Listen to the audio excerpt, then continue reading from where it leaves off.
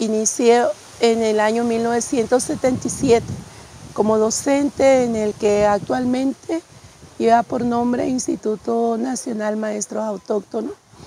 Allí laboré por muchos años.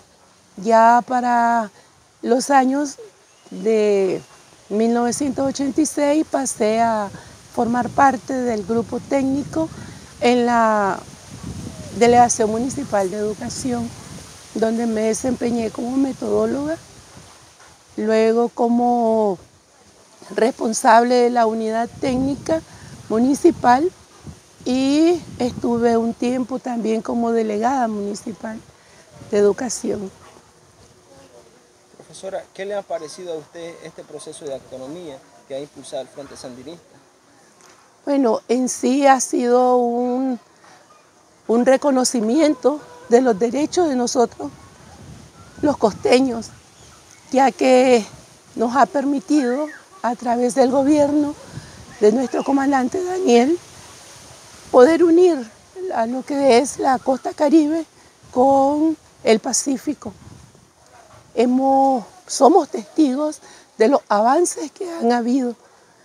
Podemos hablar de lo que es la, la infraestructura, la mejora en, los, en las carreteras, en los caminos hacia las comunidades, cómo se ha llevado la energía eléctrica a comunidades donde nunca soñamos llegar a tener, cosa que en otros gobiernos ni siquiera nos habían tomado en cuenta.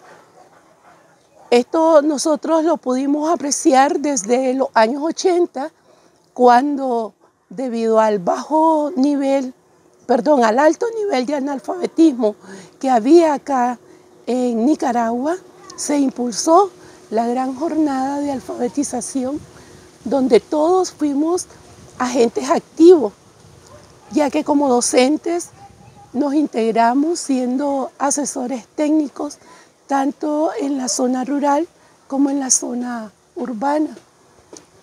Los muchachos, los brigadistas también contribuyeron grandemente a que ese analfabetismo lograse bajar y en la actualidad los programas que lleva el Ministerio de Educación permite que el analfabetismo no se eleve, ya que se le brinda atención a las personas de bajos recursos, llevándole la educación hasta su propia casa.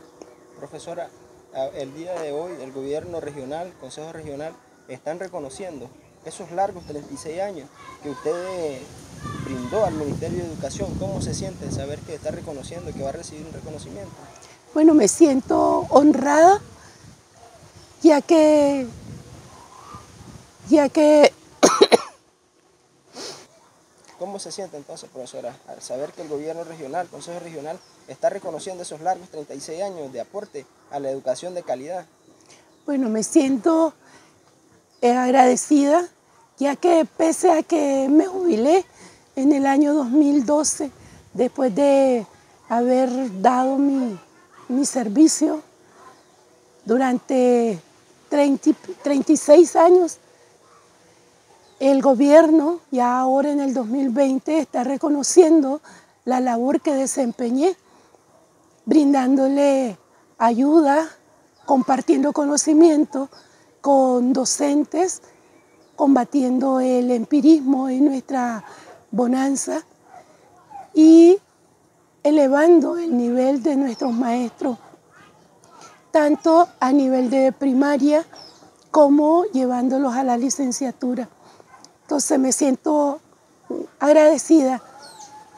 Gracias a nuestro comandante Daniel, gracias a nuestro gobierno regional y también a nuestro gobierno municipal, que aunque estamos jubilados los maestros, reconoce el esfuerzo que nosotros hemos hecho durante nuestra vida activa como maestros.